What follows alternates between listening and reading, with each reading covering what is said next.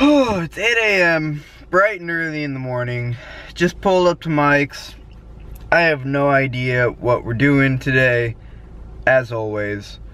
But let's get this thing going.